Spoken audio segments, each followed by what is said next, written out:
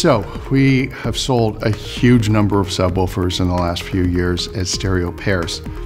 And, and customers these days are often just coming in and sort of demanding stereo pairs, but they don't exactly know why. So, let's sort of demythologize what stereo pairs are about, why it's a good idea, and also how you can start in many cases with a single and add and, and wind up with a stereo pair down the road. What stereo pairs do is really interesting um, on a technical basis, what they can do is really smooth out the evenness of response throughout the room, right?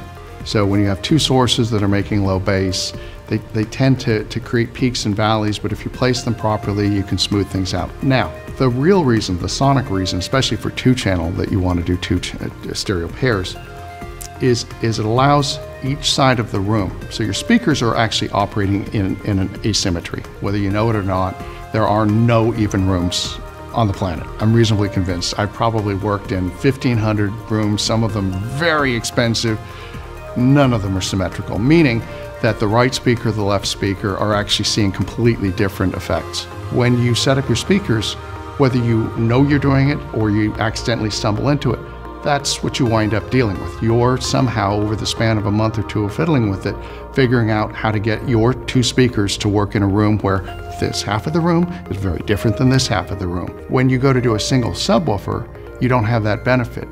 What stereo pairs allow you to do is get this subwoofer perfectly locked up to that speaker, that subwoofer perfectly locked up to that. And when you do that, the coolest thing on earth happens because the stereo image, which most people's stereo image, if, if these are the two speakers, they tend to have a kind of a, a, a U-shaped soundstage. So the, the lead singer is right here, no problem.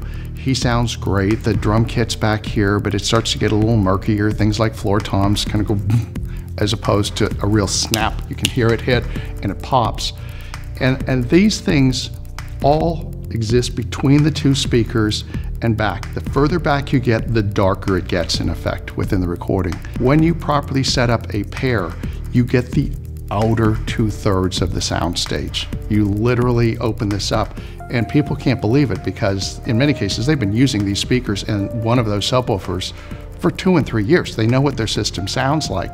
And when you get those things opened up and you get those outer two thirds to work, it's kind of shocking. it's troubling uh, at a lot of different levels. And then you start to relax and go, my gosh, things are exactly where they should be. I can hear the clarity in the foreground.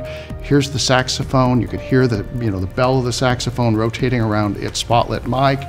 Things are layered exactly where they should be, and you just hear so much more intimacy and clarity and depth into the music. So that's the why.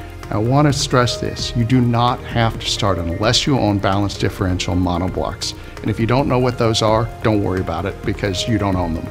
Um, balanced differential amplifiers are significantly different than a normal amp, and, and those require stereo pairs right from the beginning. Some very strange things can happen if you try and take two completely different grounded amplifiers in their own chassis and connect them together.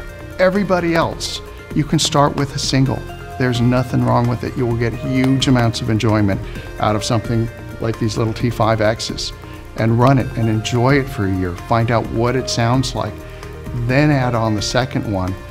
Yeah, it'll take you 10 minutes to reconnect but add on the second one, retune each one individually, one one sub at a time, undo the, this one, come back over and do this one, get it perfectly mated to its mate, and then put them together, do a little fine tuning, and you'll just be shocked at the amount of, of clarity and improvement you get out of the entire system. Remember, we're not trying to get more bass, we're really trying to define clearer space.